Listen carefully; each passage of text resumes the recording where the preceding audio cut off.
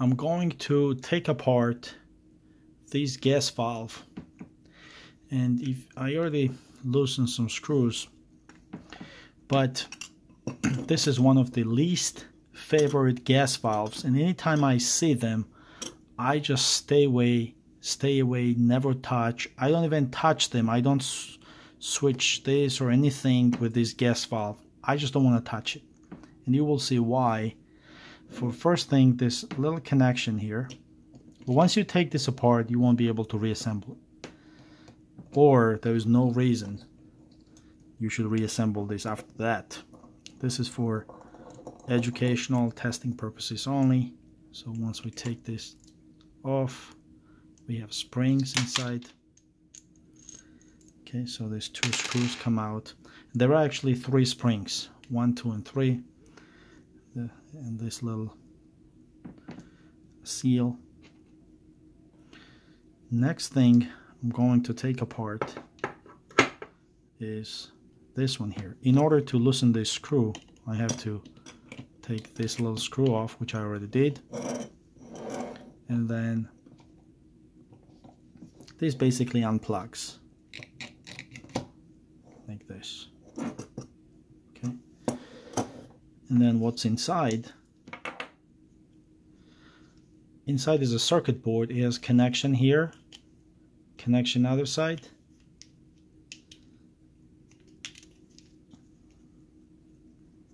And the switch. I'm actually not going to reassemble this gas valve so I don't worry about remembering anything here. So that's a circuit board can't say exactly what they are voltage regulators whatever they are. But it's connecting the switch with to the gas valve to outside connection and to I believe this is either second stage. Yeah this is probably either second stage or first stage. I can't say exactly. Alright let's keep going because what's inside is also interesting.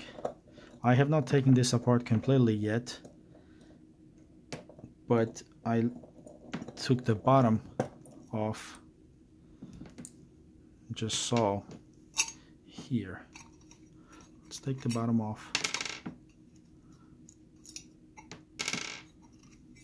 Okay nothing just piece of uh, piece of metal. Here this diaphragm and by the way I'm saying this is my least favorite gas valve because it fails a lot. I've replaced them a lot. Okay?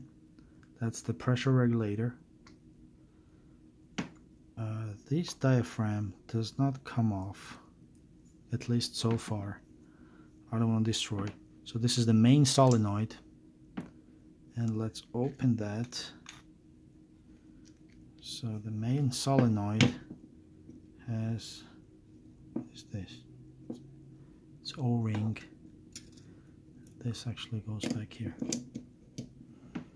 Alright so how this is supposed to work is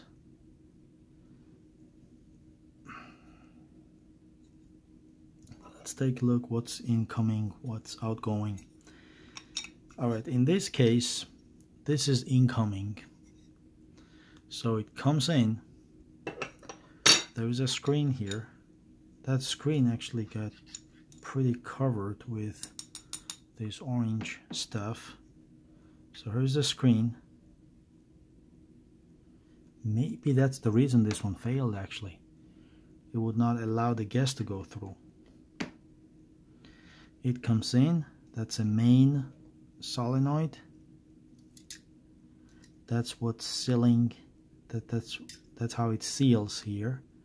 And from here it goes down this way.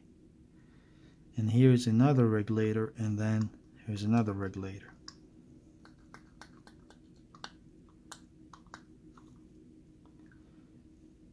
So that solenoid opens and closes. This o-ring I don't know what's the purpose of it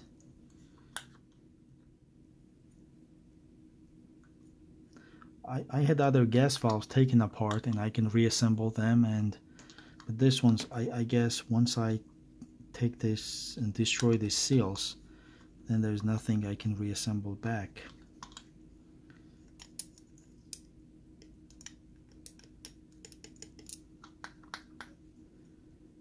Alright, this is rubber piece. This one modulates and by the way this is two stage this is two stage gas valve. Let's take this seal off.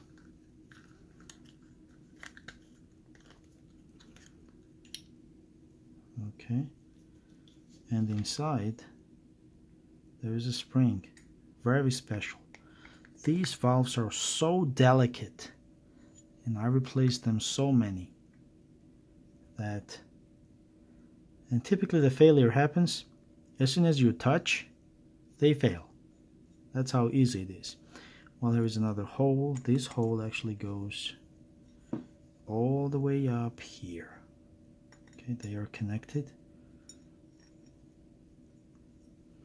There is not too much I can say about this ones just remember the model and serial and stay away if you can because of all the problems and the replacement gas valve is not the same. Replacement is different. It's it's a different design comes with uh, adapter for the two-stage connection that is here. It's it's a very special connection here. I mean this one right here.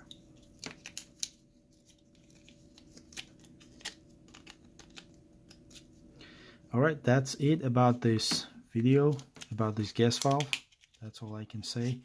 Just to take apart, I can't explain any better how the gas goes through and what happens because this is two-stage, it's a little more complicated. And there is no really any information available that I can determine exactly how the gas flows through this assembly, how it regulates down to three and a half water column, inches of water column. not too much I can say. These are just the regular solenoids. One solenoid here.